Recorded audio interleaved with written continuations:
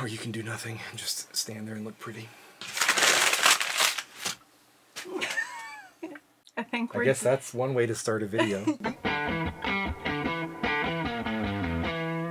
hey, welcome back to another episode of Whiskey Row. Hey guys. So tonight we're going to be continuing our search to find my favorite bourbon, and tonight Wait. Move over. What? Move over. I'm moving.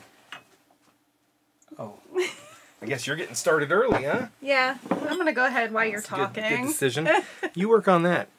So we're doing another episode trying to find my favorite bourbon. Jamie is going to go ahead and pour herself some 1910. So tonight's a little bit of an interesting competition because we are at a point. We'll the, keep the bottle over here just in case. keep it handy. We're at a point in the competition where we don't have any choice in what group to pick. So we have to use this group to get to be able to do the semifinals on this side. So tonight we are going to be going with these five. I know we had a mess up a while back, and the Kentucky Spirit. We talked about potentially putting that in this group. I I thought we were done with the mess up. No, even in the final video, I'll still be, find a way to bring it in to the topic of the video. We've got the Wild Turkey Rare Breed here. Don't really feel like we need to have both in the competition side by side because I know that just from my back and forth Mm. over the time that I've been drinking bourbon, what was that? I haven't had this in a while. It's That's been true. when did we last film together? Guys, A we were half, two weeks ago. Yeah, but we just went away for the weekend. I had all my little cocktail drink, a lot of cocktail drinks, some Yeah. Moscato. I mean, you name it, I probably had it, but I didn't have any bourbon at all. Not a single drop. So I was you're, ready. you're, for you're ready for it? Good. Yeah. I'm glad. But we ended up deciding to not do that because six way tastings are a bad idea for David. Yeah, really bad. The Wild Turkey Rare Breed, in my opinion, is better than the Kentucky Spirit. We're going to kick the Kentucky Spirit to the curb. Well, one of the benefits of the way the competitions worked out tonight, with us not being able to like double blind this, mm-hmm. I don't have to leave the room. I can be with you when we pour. We can pull out the Glencairns together. We can pour them, and then I'll step out for a second when you mix them up. I guess if you want to do it that way. Or do you want me to leave just so you have your own time? No, go ahead. Let's let's let's do this together. You sure? Yeah. I feel like I just came to drink and eat. Are you I might, complaining? I might move. Are you some complaining? Things, I might move some things around the table, but other than that, Why don't you introduce the contestants tonight, Jamie? Show me how you do it when I'm All right. gone. We got Smoke Wagon. Uncut, unfiltered. What? That's the name of the bourbon is Smoke Wagon Uncut Unfiltered. Jeez, this is why I don't like you being in here. I know. All right, Sam Houston. 14 year. Hey, we Go make a good team together. Bookers. 2020 or 2018 02 backyard barbecue. We've got Elijah Craig Toasted Barrel. Wild Turkey Rare Breed. Barrel Proof. No, you just had to do rare Kentucky breed. Straight Bourbon. No, Whiskey no. Barrel Proof. Master. 750 ml. Something. Jimmy Russell. Stop.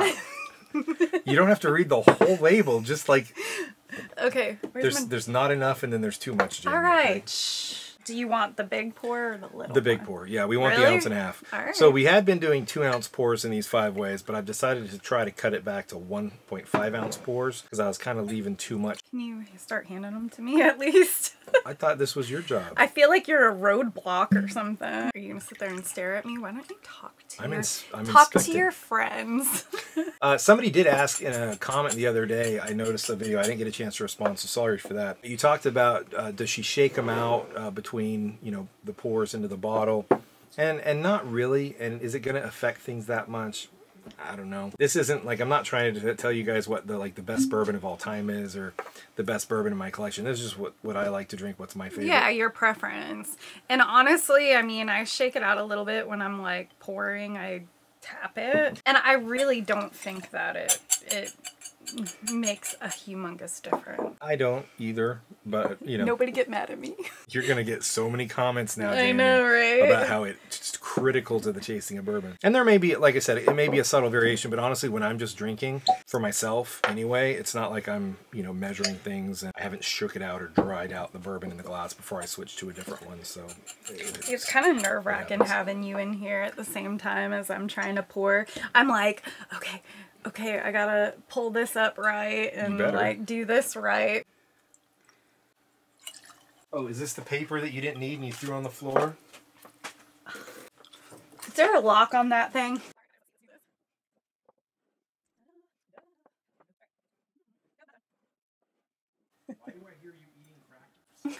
what? What are you talking about?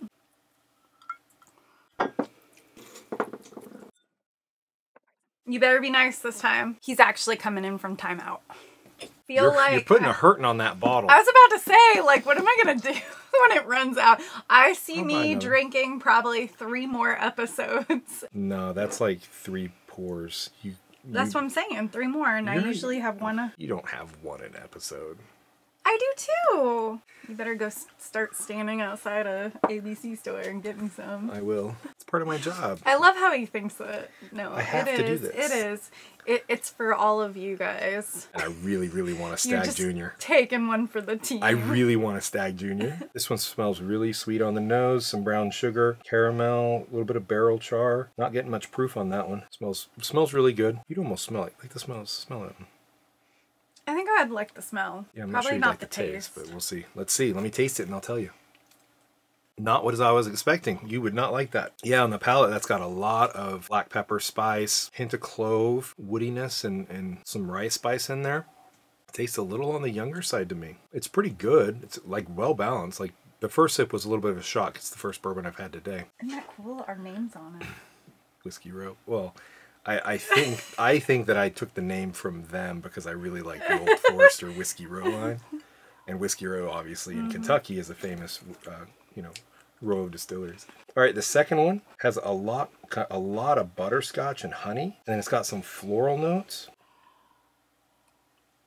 So on that one, there's a, a strong clove. There is a little bit of an herbalness. The first one had a tinge of woodiness, but this one has woodiness as well, but it's not unpleasant. And that that kind of butterscotch, like burnt caramel. This mm. competition is a lot of mid-proof and high proofs. This uncut is in the 115s. Yeah, this one is 113 proof. That one's 94 proof. 94, not too The bad. Booker's is 128 proof, 98 proof.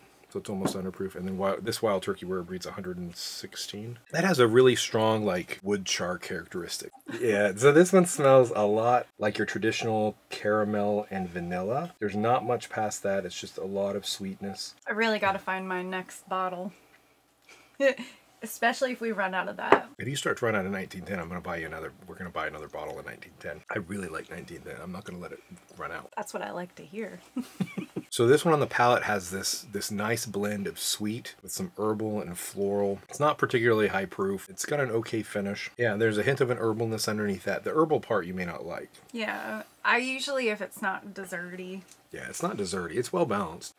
So this one on the nose, it's like a little bit of a maple syrup, but a hint of caramel as well. So it's like a maple syrup, almost like a little bit of a sawdust smell. Hmm. It's very very faint. It's not it's not unpleasant. It's not like it's gross smelling. A little bit of a smell it. hay.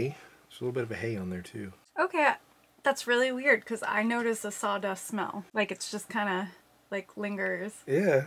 I don't It's know. so It weird. It is weird. I don't I don't know which of these would have a sawdust smell.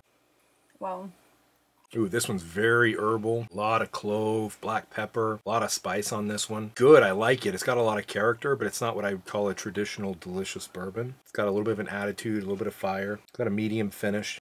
So on this one, I'm getting almost like a really, really subtle cinnamon. There's like a maple, like a maple syrup with a touch of cinnamon, touch of herbalness. This one's really interesting. I have a, I'm having a really hard time picking out the the the, the nose on this one. It doesn't smell particularly high proof.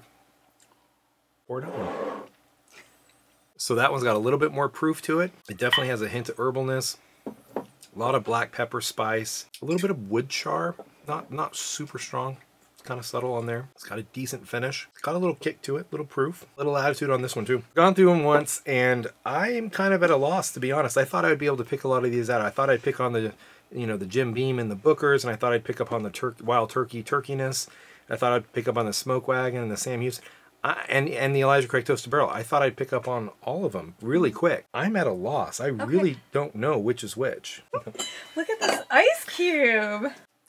So on Amazon, I bought one of those like one and a half inch stainless steel ice cubes to, to try to cool the bourbon without uh, Now without my ice cube and cup game are matching. True matching stainless steel. That's cool. I haven't even gotten to try them yet. I bought we we got them in the mail and then we Oh. I know. I saw them. I was like, is David gonna be mad that I'm the first? Kinda. I'm a little salty to be honest. I was gonna ask you, out of all these bourbons over here, which one? Because I know usually when you do a taste Yeah. testing, you always are like, "Man, I thought such and such was gonna win." So I'm wondering, out of these guys, what do you think? What would you like to see win? From my biased opinion, and not, you know, I have my rankings done, so I know what order which glass is, but I still don't know which bottle is which, Right. or which bottle's in which glass. I would probably say the ones that I, the two that I would want to advance would be the Elijah Craig Toasted Okay. And the probably the Sam Houston 14. If I were to predict the outcome, I think number one is going to be Elijah Craig Toasted Barrel because of the toasting and it tends to be a sweeter bourbon, lower proof, and and I know that in this competition I've tended to go with lower proof stuff, so I'm kind of kind of thinking that I'm going to put this one in first place. I think the Sam Houston number two, Booker's three, Wild Turkey Rare Breed, and then and then Smoke Wagon in last place. Hmm. That's what I think the outcome is going to be based on my prior experiences, preferences, etc. Number five tonight. five, and then four, three, two is this one. One is this one. This was a, you know, I always talk about like the competition was hard. Well, it, this one was hard, although it was different. I was having a hard time picking up the, the palate on a lot of these and the flavors and distinguishing things. Sometimes you overanalyze things too, so I think knowing what the bottles are, you were probably playing around in your head a lot, like wondering. hmm, Yeah, I think you're probably right. I think that's a, that's actually probably really true. You know me well. Number five is Booker's. Number four is ooh Elijah Craig Toasted Barrel. Oh no! You love it when I get I get love it when you mess up. It's fun. Number three is Smoke Wagon. I really did Smoke Wagon uncut and unfiltered on top of Elijah Craig. Was this the one that I said smelled like sawdust a little bit? I think so. Yeah, it was because I looked and I'm like, oh, that's maybe why. Number two is Wild Turkey Rare Breed. Number one is Sam Houston 14, hopefully. So Sam Houston 14 year came out on top tonight. I shouldn't be too surprised because I just opened a Sam Houston 15 year over the weekend. And wow, that was amazing. Uh, I took a picture of it, posted on Instagram. Remember that? The Wild Turkey Rare Breed came in second. I shouldn't be too surprised because I've always liked the Wild Turkey Rare Breed. I thought that this was the Wild Turkey for a while in the tasting, so I'm not actually surprised this came in second because I was like, this is pretty good, and it's I think it's Wild Turkey. Smoke Wagon Uncut Unfiltered kind of lives up to the hype. I know it's kind of like a darling child in the bourbon community right now. It's it's really tasty. I guess the real surprise tonight was the Elijah Craig Toasted Barrel. I really thought that was going to come in higher tonight. It's really falling flat for me tonight. Can you have some of your 1910? Nope. Let me just taste it. You I- tasted it the, the, before. the viewers this is of a YouTube. five-way tasting. I know, but the viewers, not a six. the viewers want to know how the Elijah Craig Toasted Barrel compares to the 1910. it's And I- better. I, can't tell them if you don't let me taste it. That bourbon is cold. I know. That cube really worked well. The 1910 definitely has a kind of a darker caramel sweetness to it. That Booker's Backyard Barbecue is not good tonight. It's really high proof, but it's coming off very, very grassy. There is, I'm now that I know it's Jim Beam, I am picking up a little bit of a nut taste, uh, but it's got a good sweetness, but there's kind of this little bit of an offness to it. I don't know how to describe it. I'm really surprised by that. I guess that would also be a disappointment for tonight because normally I kind of like the Bookers at, at $90. It's expensive, but I still kind of like it. So the Sam Houston 14 year and the Wild Turkey Rare Breed are going to advance to the next round. A little surprised by some, uh, not surprised by others. Very excited to see the Wild Turkey Rare Breed and the Sam Houston 14 advance to the semifinals on this side. Well, before we say goodnight, wanted to thank all the Patreons and all those who go to whiskeyrow.shop and buy merchandise. Special thanks to all of you guys for supporting us directly as you do. For all of you that watch the videos, thank you so much. We love spending time with you. And until next time, find a bottle you love. Hey, welcome back to another episode of Whiskey Row. hey, everybody. So we are. Yeah, please do, please. Hey, everybody! David's made me do this like three times because he says I'm too enthusiastic. I'm a paid actress. I pay you in bourbon and crackers. I'm not really David's wife. Elephant juice, elephant juice. What? Don't you say that? To, isn't that what you say when um, you sneeze and you're trying not to sneeze again? Here, can I In just one second, I'm just literally about to cut and do the tasting. I think you guys- Your mama's so nasty.